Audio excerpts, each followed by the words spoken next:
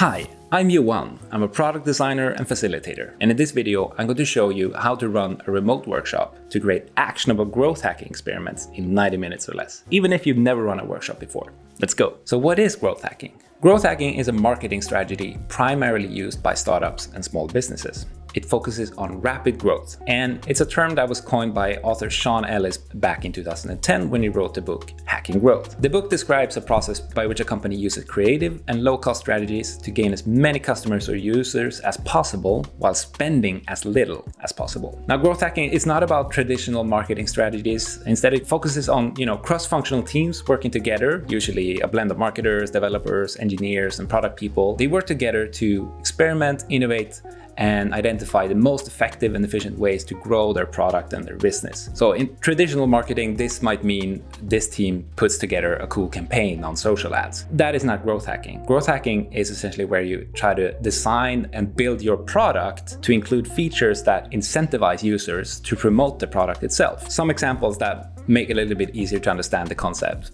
and beyond the buzzword growth hacking. Dropbox, for example, when they launched, they designed their product in the sense that they offered more storage space if you promoted it and invited your friends to join Dropbox. If we go even further back, Hotmail, they did a cool thing when you used their product, added at the end of each email you sent via Hotmail, it said at the end, P.S. I love you, get your free email at Hotmail. That little line that you might recognize from the iPhone as well, it says send from my iPhone. Those are typical growth hacking tactics. That tactic essentially turned the product into its own marketing system. So way different than doing a campaign on social media, for example. Some quick basics about this workshop. The time it takes to complete it is around 90 to 120 minutes. I recommend you schedule at least two hours, so in the best case scenario, you can give people back some time rather than trying to extend the workshop. The recommended amount of people to join would be around three up to 10 people. Bringing on more than 10 people will make you struggle with time management. And who should partake? Try to think cross-functional as much as possible. Obviously, the team working on a product, that is usually a product owner, developer and designers, maybe if you have a growth hacker on the team, data analysts, and sometimes marketers. And what experience do you need?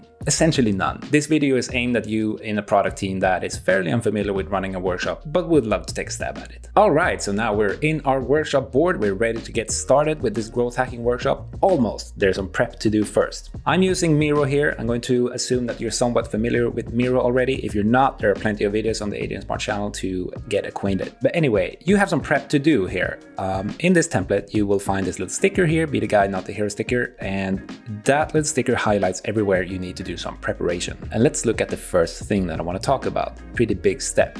The challenge at hand. So this is a problem solving workshop. You have a product problem probably. Maybe you're losing customers. Maybe your onboarding sucks. You have issues activating customers that signed up. There could be plenty of different problems. You need to have made some homework before inviting your participants to the workshop and define what your problem is. If you need more help at doing that, there's a great video on our channel called the problem framer workshop. So that step is not part of this workshop.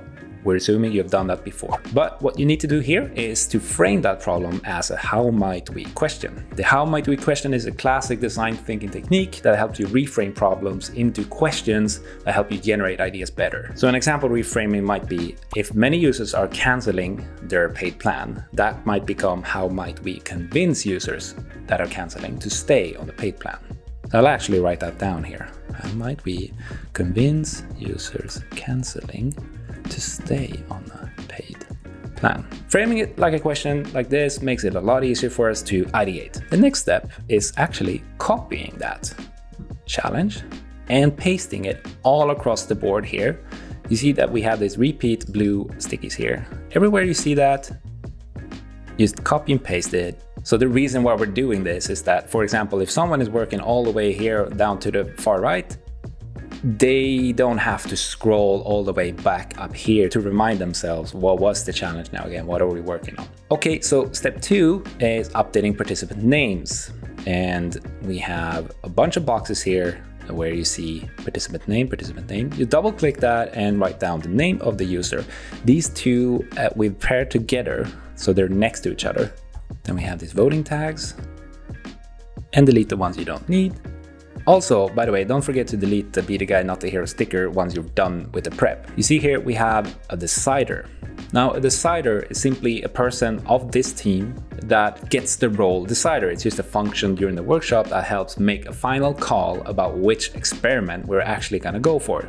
We're all gonna vote, but someone needs to make the final call if we end up in a tie in the voting and essentially someone that you know manages the resources. So the decider is usually the product owner or the team lead in some fashion. Doesn't have to be that's just commonly that's the person that ends up being the decider. So you obviously ha also have to prepare that person before joining the workshop that this step you're going to have the decider role which just means that you'll make a final call a decision about what which experience we actually go for. So i'm going to make jakob the decider here. So actually he doesn't vote. He's going to vote after everybody else.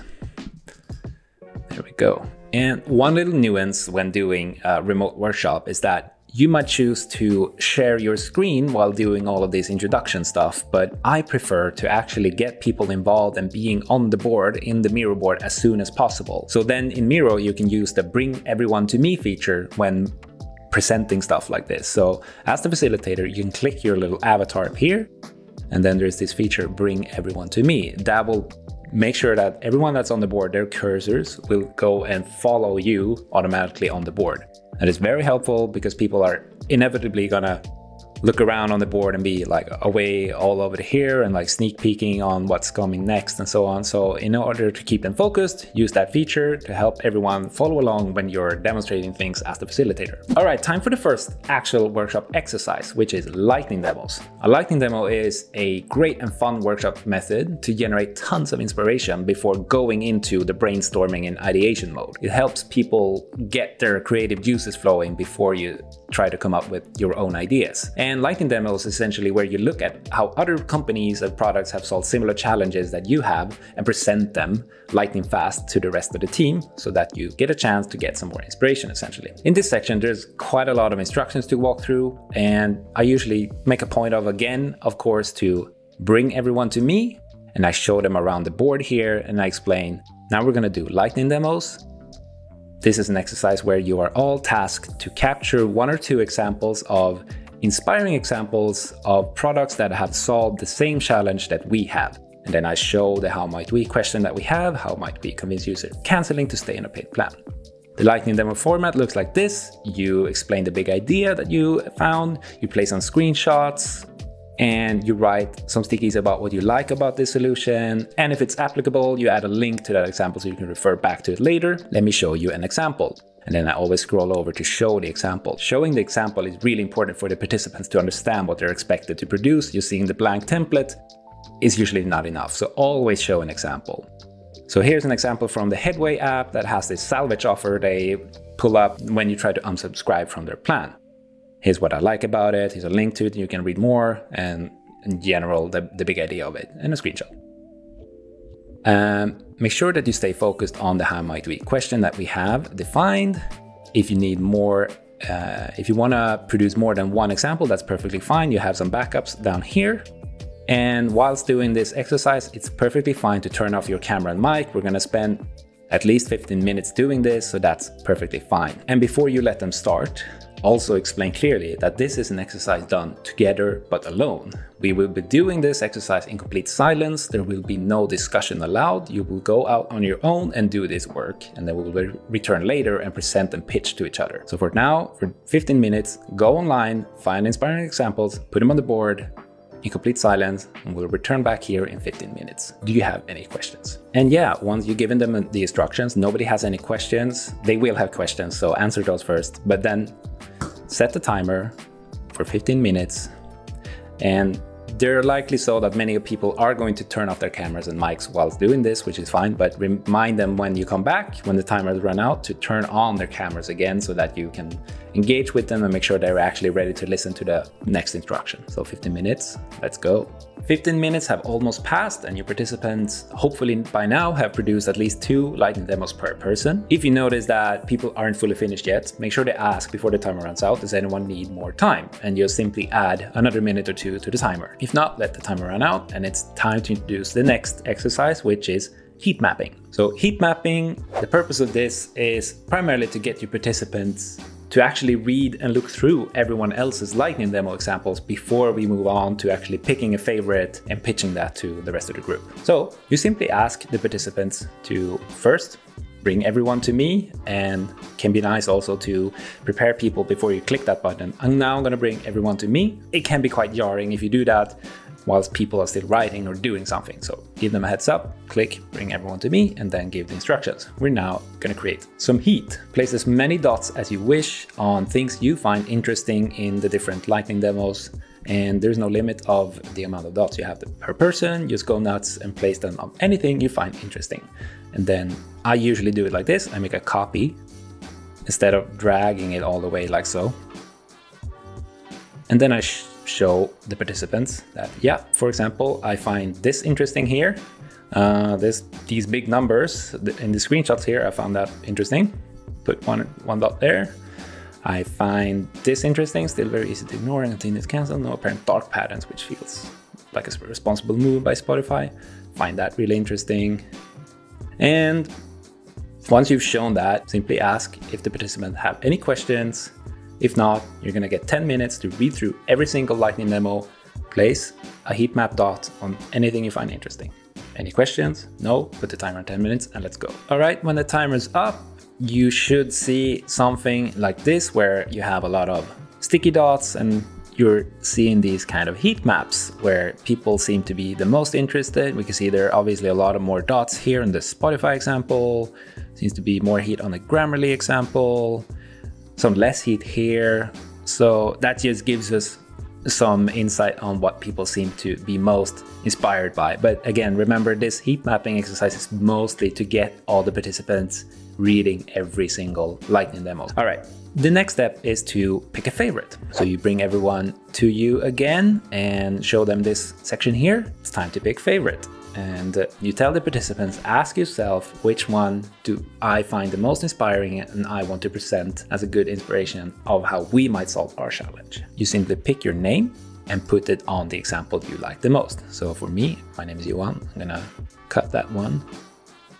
And I liked the Spotify example here from Jonathan the best, so I wanna present that. I just put my name tag here, like so. But tell the participants that if they notice that two or three people already have put their names on one of the Lightning demos, maybe it's a good idea to actually choose one of the other ones to present. Ask them also to prepare a short pitch with like a one or two bullet points of what you find interesting about this example in particular and how they think it might help solve your challenge. Since they already have spent a lot of time looking through these, picking a favorite, they should already have an idea what they think is the best one. And so you're just gonna put three minutes on the clock. Again, ask them if they have questions. If not, three minutes on the clock, pick your favorite. Now when the three minute timer has run out or you notice that everyone has already put their names out, you can just stop the timer and move on to pitching. So pitching is very easy. You just instruct people to take one minute maximum per person to just present their bullet points and their ideas of why they like that example in particular. And as the facilitator, of course, you will direct who gets to talk first and who gets to talk next. I usually go from top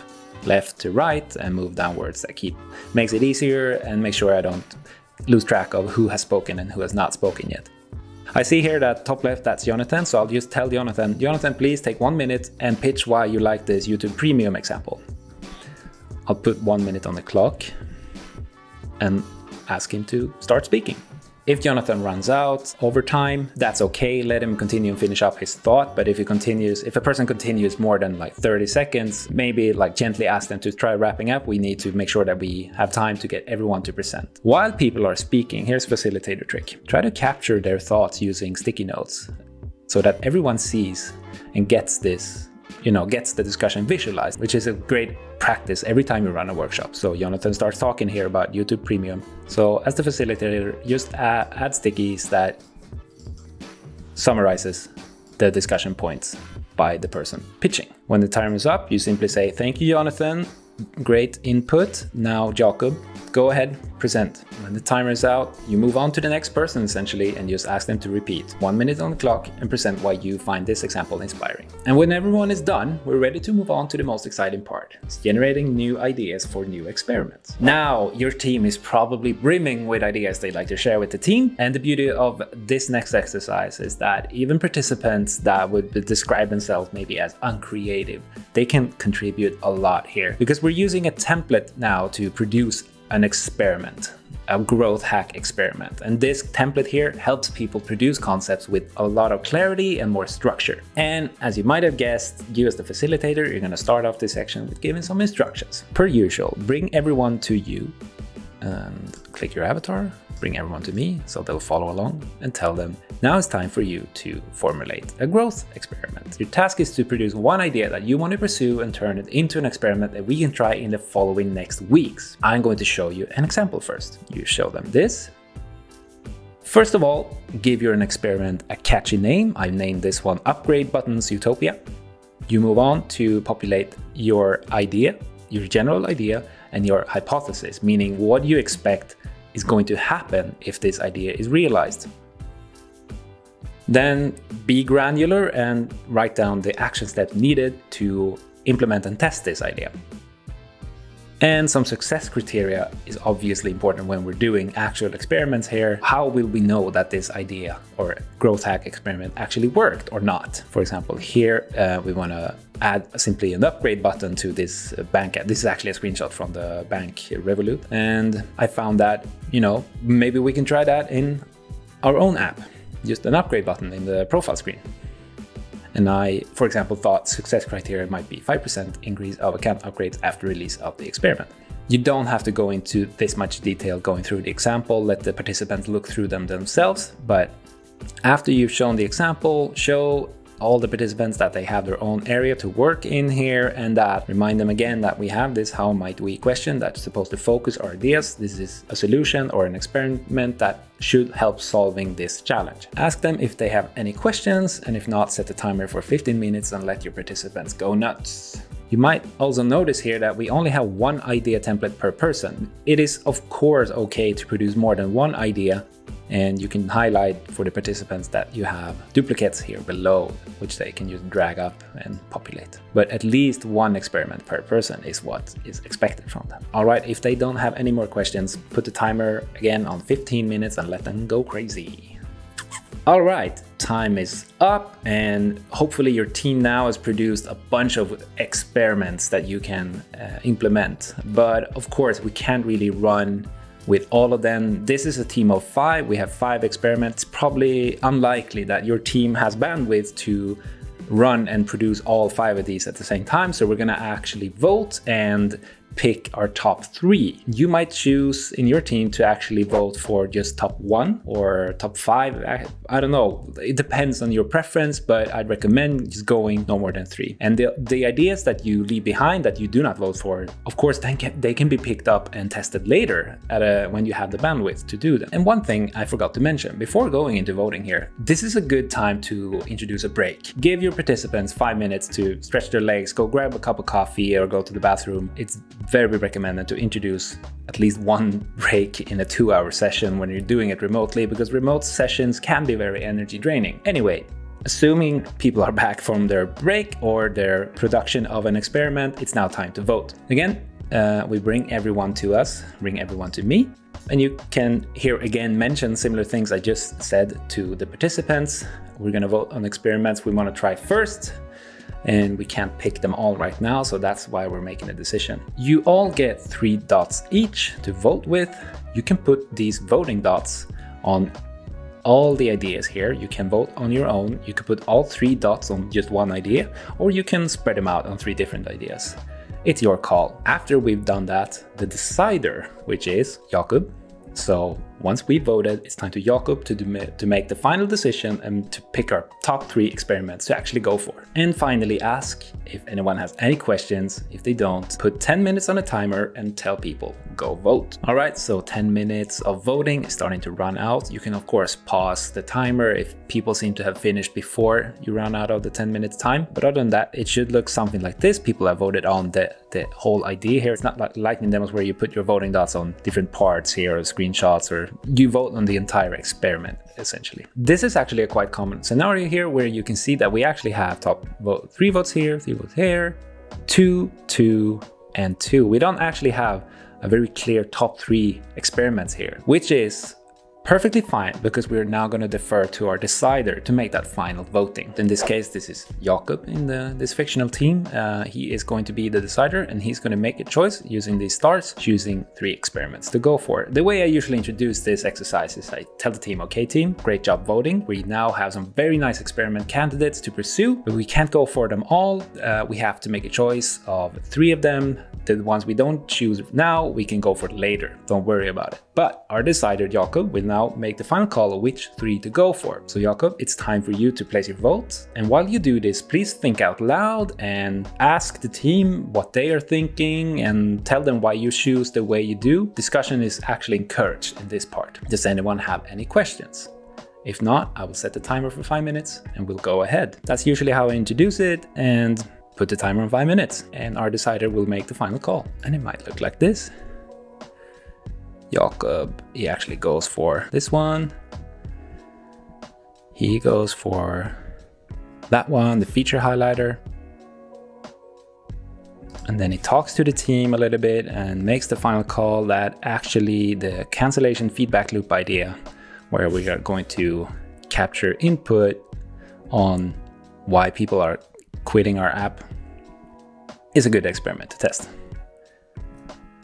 All right, that's our top three decided. As the facilitator, you might also, as a final step, make a copy of that, move over here, click with your cursor, paste, you'll have your top voted experiment number one over here.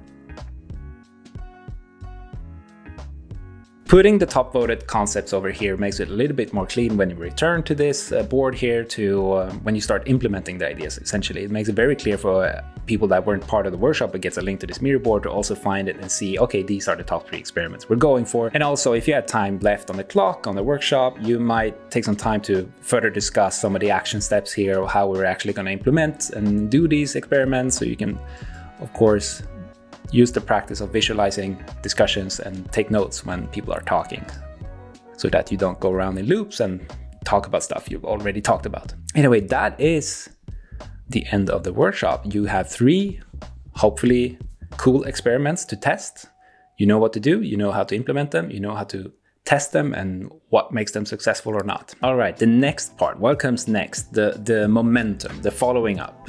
Like it's really important that after you've completed this workshop that you instantly schedule some time together with the relevant people, start doing all of the activities that are proposed in the action steps. So keep the momentum going and make sure these ideas and experiments actually get implemented. Now, depending on your team structure in this workshop and how many people that participate, there are probably a few people that aren't going to be fully involved in designing and implementing all of these experiments. So make sure also that you are following up and sending information to the participants that were part of this about how the experiments are progressing. Now, wrapping up, hopefully this workshop will run somewhat smoothly for you, but don't worry if it doesn't. Every workshop is bound to have some hiccups and obstacles, regardless if you're a pro seasoned professional or a complete newbie. The key mindset here is to be comfortable with improvisation. And speaking of improvisation, this format here, this template, I should say, is providing you a pretty rigid structure to follow but if you have less time on your hands, you can compress it even more. You can completely kill the lightning demo section which makes the workshop a little bit less fun and you won't have as much